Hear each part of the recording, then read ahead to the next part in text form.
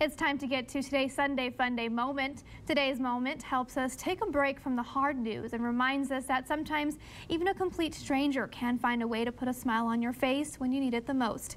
ABC 7's Iris Lopez has today's Sunday Funday moment sponsored by Sarah Farms. While visiting El Paso, one Arizona mom made sure to capture a special moment between her young daughter Harper and an El Paso man who was just doing his job while showing off some amazing dance moves. Sarah uploaded the moment to her Facebook page with the caption, One Race, the Human Race. Take a look at the special moment. We were shopping the other day and saw this man that was dancing and singing, and so we made our way down towards him. And positivity that he was bringing just made us want to join in. And uh, with the current state of our country, it was nice to see somebody trying to spread so much joy.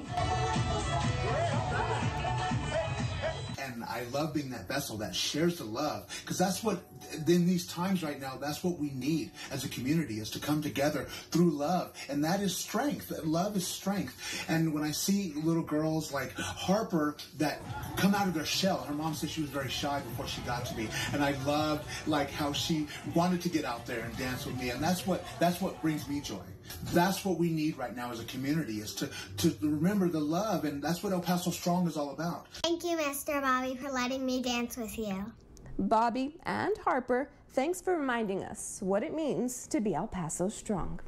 If you have a special moment like that that you want to share with us, all you got to do is go to KVIA.com, click on the share tab, or use the hashtag KVIA Sunday Fun Day Moment. Iris Lopez, ABC 7.